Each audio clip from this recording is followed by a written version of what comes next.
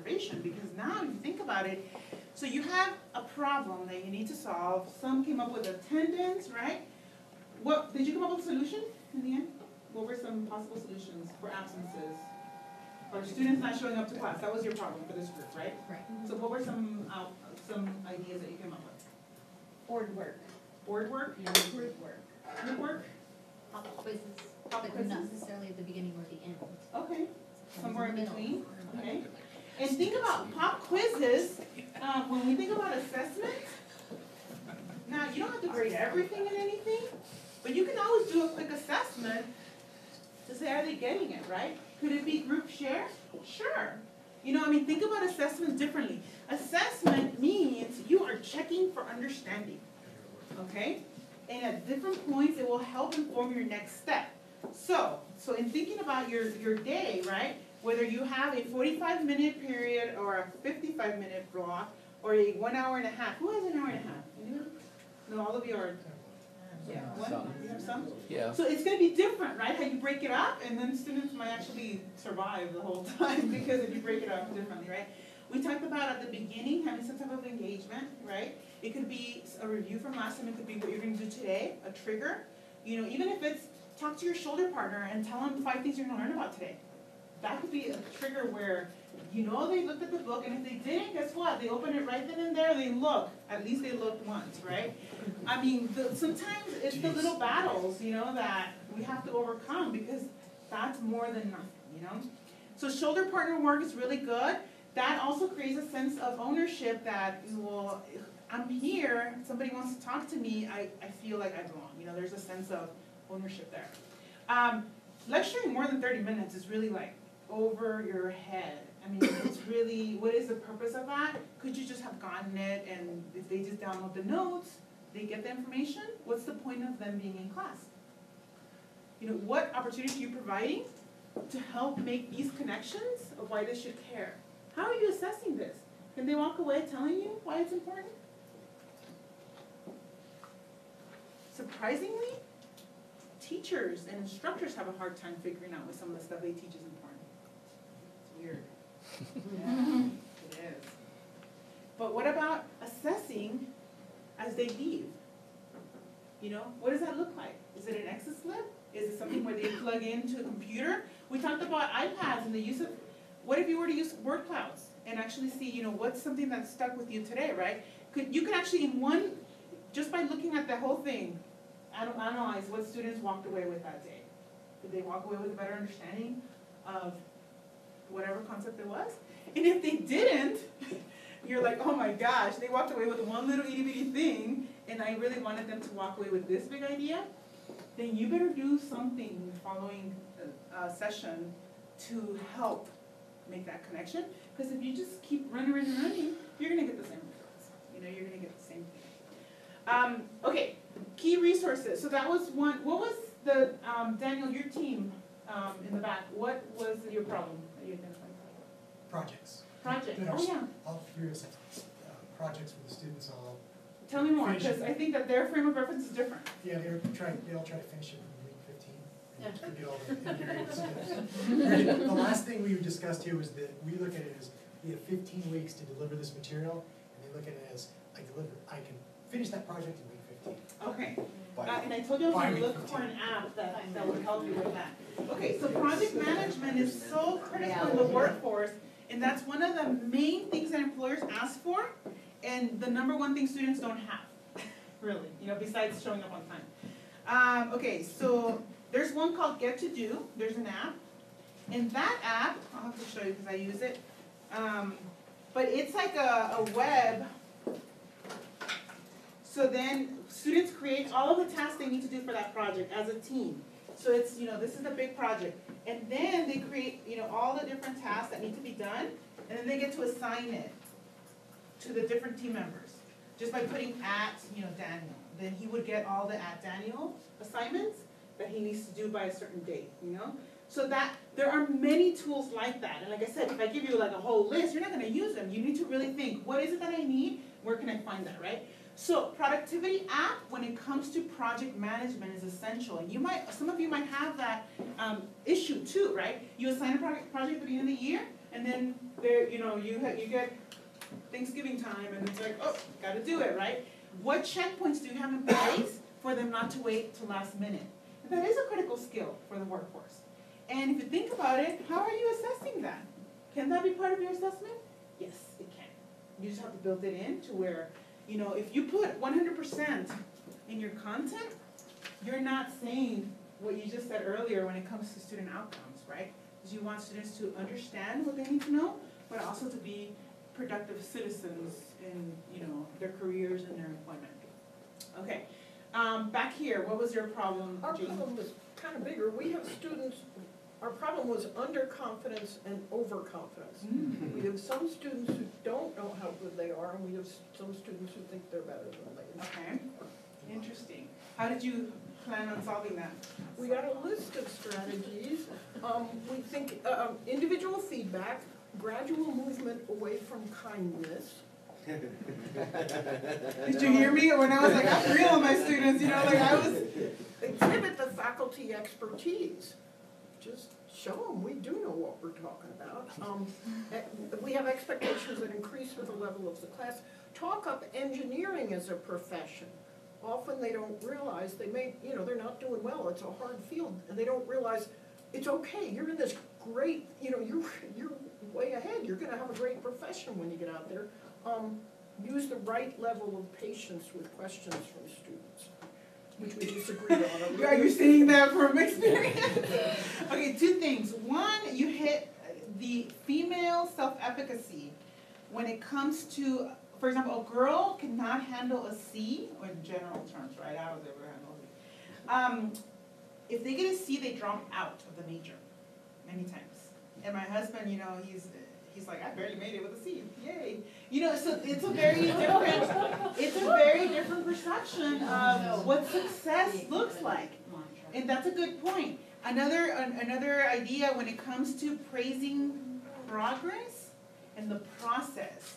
Like, I really like how you thought this through, uh, but I see you're struggling with this one, so let's, let's brainstorm ideas to get through this one. Because then it's the process, and that's a growth mindset versus a fixed mindset that says, I'm just not good at math, or I'm not good at solving, you know, X, Y, Z problem. So praising for the process helps students build that self-efficacy. It's kind of interesting how, um, how it works. Um, okay, let's do, go ahead, this group, what was your, so we talked a little bit about it, but you wanna go ahead in it? Just Oh, yeah, one. well, we had students not coming prepared to class, and part of it was, uh, just not bringing the resources that are needed, like a calculator in the case of engineering course. And then for like anatomy, physiology, just coming in with basic terminology so you can get started, you know, covering like the physiology part to the course. Mhm. Um, So we talked about access when it comes to tools that you might need in the classroom. Um, and then Jude, you mentioned that if you put it in the syllabus, The, the VA the will. VA will pay for it. If But if it's, it's if not it's in listed as syllabus- required, Uh-huh. the VA will pay for it. Did all of you know that? I didn't, so that's something I learned from you, that's new, right? That's a really good way to provide access without thinking like I'm providing preferential treatment. You know, you, you cannot think about it that way. But guess what? So say a student still can't get it, yeah, it says required there, but they still can't get a calculator. What's an alternative? We talked about Apps, apps. but then I thought of a downside. Yeah. They can't You're- use the cell phone during a test. No. That's a good point. So then, then that becomes, how does the center provide a resource for them to use that mimics that same app? Yeah. You know what I mean, like in terms of equivalent resources, you don't wanna give them a brand new com- uh, calculator that doesn't show what they've been using, cause then that adds another variable that they don't know how to use a calculator, they're not gonna do well on the test. Okay, your, your team? Uh, was on my Um, mind, um, What's on your mind? advising was on my mind. Advising, interesting. Uh, we have a, a heavy advising load and how do we better handle it? So we talked about, uh, different strategies. Were some of Using those? technology and maybe, s- uh, trying to get some, uh, interface with our existing DARS system that would help students print off something and come to the advising appointment Ready? with, yes. Uh-huh. Because we didn't wanna decouple advising from the, the talking about the career and the coaching and all of that. But we're trying to, what I'm trying to do is minimize the administrative piece. Mhm. And ask yourself, every time you have a sheet of paper, is this necessary? Because that's true, paper overload can burden, can burden you. And sometimes, like I said, assessment can be like, well, this was with younger students, but I'm sure it could work with the smaller classes, is as they walk out the door, just having a conversation with students about, you know, as they walk out. All right, put two things together, and they're like, uh, you know, and that helps them be ready to actually work on the spot and put thoughts together when it comes to, you know, what they're learning. But, but yeah, when it comes to paperwork and, and that type of thing, like I said, you know, your counselors, your teachers, your parents at, at different times, and just be okay with that, you know, I think it's, it's okay, even though you don't wanna have, you know, hundred fifty kids. Somebody, I actually dated a guy that asked me, how many kids do you have, and I was teaching middle school at the time, I said two hundred and twenty, and he was like, what? You know, because I really felt that they were all my kids, and I actually didn't have children at the time. But, um, anyway, so thank you, and this, So we discussed expectations, so Okay. instructor versus student expectations, and we, we were discussing whether or not it was well defined for the students, even though we give them essentially what our expectations are in the ah, syllabus. that's a good Right. point. Who So, does the giving? Why? there are expectations. I know, but guess what? Students come up with those same expectations. And so, that's what we just, Yeah. that's what we were discussing, is how do, um, they take ownership for the expectations, and that could be through a clicker quiz or breakout groups, where students, you know, you assess whether or not, you know, what are the expectations for the course? What, what do you have to do? Or, you know, how much time do you have to study? Um, and then compare their, uh, answers to what the instructor's expectations are for each person, I- for the groups. Yeah, in one of my college courses, I actually did this and it actually worked out really well. So before handing my syllabus, I said, you know, this is an introductory biology course. And as, you know, pretty much, some of them were non-traditional students, but we just talked about that. As an introductory biology course, what do we need to be able, to be sure that we learn together? And then students said, well, we need to be here. We need you to provide examples that are clear. We need you, so some of the things that I didn't even call on myself, I'm thinking, oh, they have expectations of me too. I didn't even, until I did that, I had never even thought. And think about what a mutual way to build respect with students, because now they say, you know what, my, for me, I, I don't say I promise, but I will be here on time every day, and I expect the same for you, right, from you. So things like that, where they have, it's kind of co-building expectations, co-creating expectations, where you say, you know what, the, the reality is, this is gonna be a challenge, a challenging course, however, I have confidence that all of you are gonna work hard enough to actually get through this. Not like my bio 10 131 professor who said, hi everyone, half of you won't be here by the end of the semester. Tell me what that builds, how, how does that help build student self-efficacy and, and confidence, right? You just told the students, especially the list that we had here, that you're not good enough, good luck trying to get out of my class with an A or a B. Think about the language we use, right? But what if you change that and say, you know what, the reality is, we are here. Ask students, why are you here? That question I asked, why do you teach? Why are they here? And they're gonna say, because I wanna be able to get a good job someday, because I'm, oh, then you know what? Let's set those expectations. A good employer is looking for people to be on time. A good employer is, is, is looking for people to take problems and provide solutions, right? You can frame it through that lens. And then they say, oh, yeah, that makes sense, right? So use, students come with a lot. It's called funds of knowledge. They come with a lot of things. But when we assume that they need to be told everything, there's no sense of ownership. You know? So keep that in mind. And as we, gosh, conclude, that was quick. My goodness. I will let you, I actually want to see what you write. So if you could take time, here's another answer garden. And there are iPads that Abby can quickly, you know, I I don't know, quickly pass around. quickly. I want you to come up with five, if you can do that, five things. What are five things you want to remember? And then you can access the answer garden there from today. You can write them on your paper, but I also want you to put them in the app so we can actually see the cloud.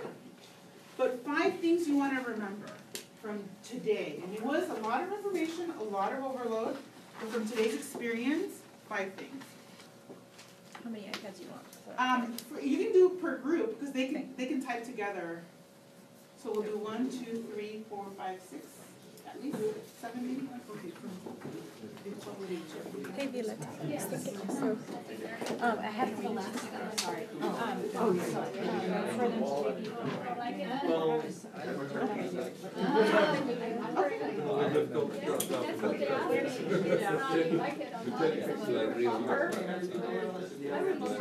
and then just add the link at the end. They use single terms. So it's CH slash view slash one six nine three seven. This is the second time again, with total blindness. intersection. Sameness and fairness. Three oh seven. Assessment is checking for nursing.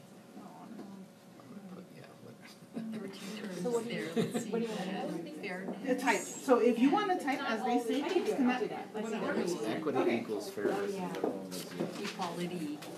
So, um, so what we're gonna do is Abby and I will type, so Abby will type as you share out, Yeah. and then you'll see the cloud grow. Remember. Did, were you able to get in, Abby? Um, I'm getting it set up right now. This one's ready if you want. Oh, yeah, I could do that, perfect.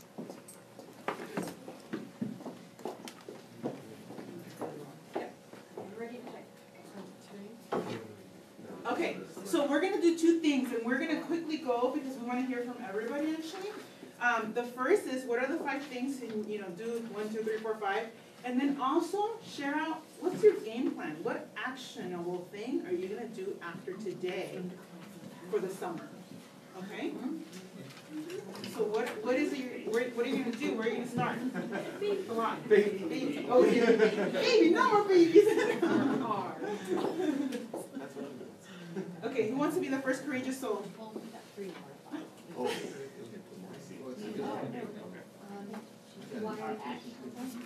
Yeah, an actionable thing that you wanna do after you leave here today for the summer.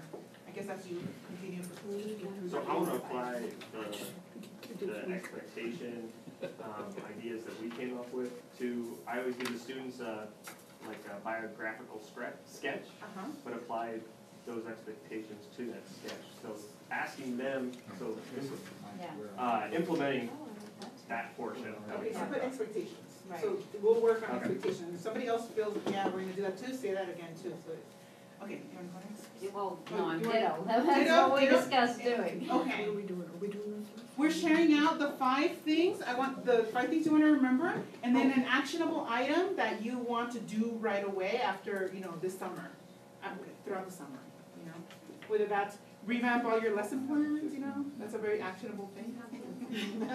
All of them, I know, maybe one. Okay, well, okay, think after five P M today, cause I am trying to let you go, and you're still here. Okay, so this table over here, what are some things you wanna remember from the workshop? Types of bias, Types of bias, okay? working in threes. Working in threes, Keeping the concepts, key concepts. key concepts, making them key, right? Not just everything and anything. Um, Equality and equity, equality and equity, intersectionality. yes, my favorite word now. I like intentionality too, that's another favorite word for me. Just think about it, you have to be intentional. Okay, we'll put that one, intentionality. What about this side over here? Why I Sounds teach, John.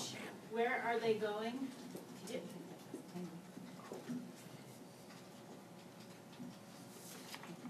Different points of view, I think, yeah. Uh-huh, intentional course design, intentional. And expectations. expectations. Expectations. What course design, did you get that one? Okay, what about the back? Table over there. I like to be intentional learning spaces Intentional learning spaces? and asking expectations of students.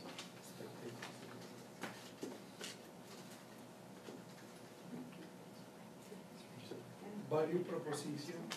Value proposition? Yes. Yeah, isn't that interesting? It's like, gives meaning to life.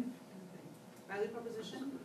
Um, co-creation, I wanna add. I think that's something you think about, how do you co-create things without, yes, you wanna acknowledge that you're the expert, But students also wanna, uh, a lot of students, they wanna be like you. So how, what, what spaces are you creating so they could be experts too? But you saying, I'm the expert, you don't know anything, is not it, right? So co-creation is something that I want you to be thinking about as, as you train these future engineers, how to be engineers, right? Know where students are, Yes, okay, know where students are? like, you know, what is their basis, you know, what are they thinking? What are they coming with? Mhm. And I think we have expectations of that, but do we really? How do we know? Uh-huh.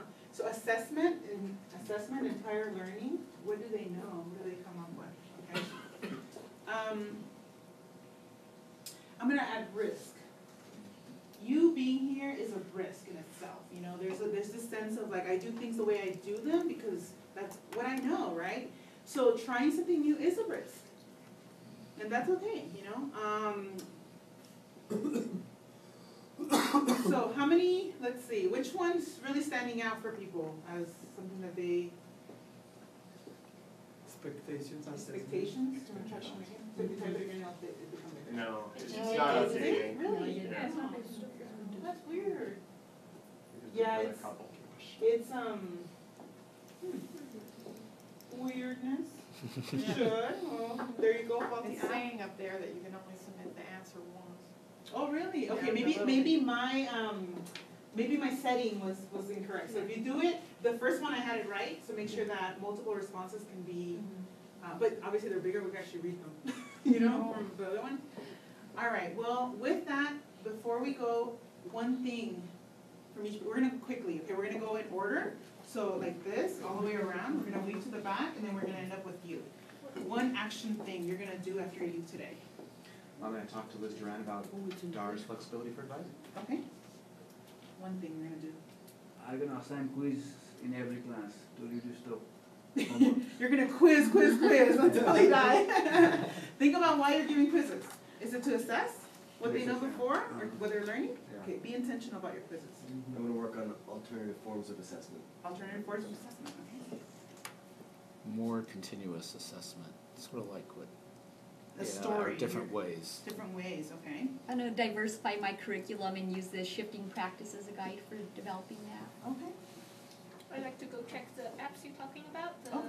project management, that, that. And you might find a better one. Guess Yeah. what? Share it. And then uh, you'll get the Google Doc that has all the resources and you can add to it so other people can know about it. Okay, if I find a better one. Yeah. the spider one. I'll take the class as a story and motivate students. A story? Yeah, tell a story. They might be able to tell that story to you, say, you know what, I learned this in your class ten years ago. All right, I think more about underconfidence and overconfidence. okay. I had something to say to that, but I forgot. Okay, go ahead. Oh, I'll try to do an exercise about expectations with each of my classes before handing any material or anything. Just write down, talk with your panel and see what are you expecting from my classes and then maybe work on those. Okay. What about the, the learning spaces? Learning spaces? Yeah. Learning can be anywhere, anytime. Remember that too. Think about that. There's here learning, but there's also what do you, what about the real world? What about outside? How, how can you use that? Okay? Develop a resources tool to help students understand my expectations. Okay. What's real to students? What's real? Yeah, That's a good, that's a good question. What's real life to students? Might not be what you're thinking. Yeah, good point. The expectations like these two gentlemen. Okay, start with that. Building a learning community for the students. Yes, learning community. You'd be surprised, we watch out for each other when we know we're a part of a team. Yeah. Building spaces. Learning spaces. Seeing what kind of assumptions I have about expectations. Oh, interesting, uh-huh. Yeah, very good. I am gonna work on the shifting practice and trying to, um, get ways that I can un- have students understand what the value is of learning in classes when I'm teaching. Assessing clear communication of responsibilities. Mhm. Yeah, expectation, and the students do live up to them, You'd yeah. I mean, I don't wanna say you'd be surprised, cause that should be an expectation that they live up to them. Um, Uh-huh. Trying back to the expectations, Yeah. or understanding their expectations. Yeah. Modify my student biography, I collect Okay. Mm-hmm. meeting to include the expectations, and then revisit it after the first exam. Or it even, but you know, think about it as you, as you build your classroom culture, mm-hmm. to, if you do something where you compile the responses, you say, you know what? Ninety percent of you thought that this was a really important one, all of you had it, so let's, let's check this one, cause right now, it doesn't look like we're doing very well, you know? Mm-hmm. And actually check uh, throughout, not just at the final exam, cause I'm- you're gonna go, and you're like, oh my gosh, I can't believe this happened, Yep. uh, I won't talk to you at five P M, but you know what I mean, like, I'm sure that that'll be something. Okay, so with that, you are gonna get two items, um, once I leave, and you're gonna get the access to the links here, um, that I showed you. And you're also gonna get, um, the, a copy of the PowerPoint, that way you have it for the future. Um, but I really wanna appreciate, you know, oh, I was gonna say that, that, that, um, this visual, this organizer, it's a four-day workshop, just so you know, to actually build out a course. Yeah. Uh-huh. So that's reality for you, you know, and I'm actually gonna do it with some, some teachers at Pooter, um, High School, they're, they're building a course called twenty-first century science, where they're actually kind of revamping the way we think about, you know, science education, they actually wanna say, if we do a project based, what does it look like? So we're gonna talk about that, but just know that baby steps are baby steps, it's something, it takes time, okay? And I'm confident that you will take action, and thank you for being here today. Really appreciate it.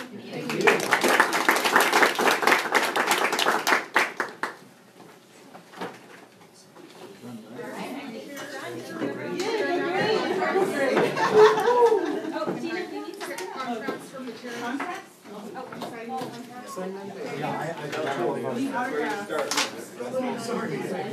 Thank you so much. Let's see what they say.